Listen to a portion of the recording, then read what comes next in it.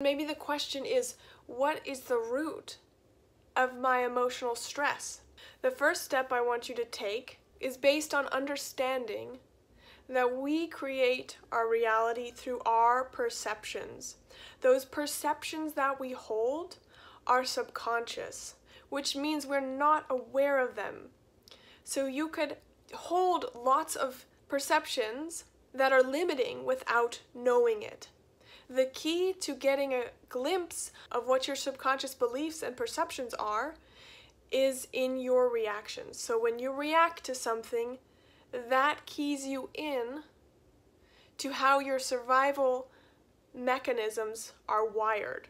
When we address those, we can solve so much more of the downstream symptoms than we could if we just kept reacting to those symptoms.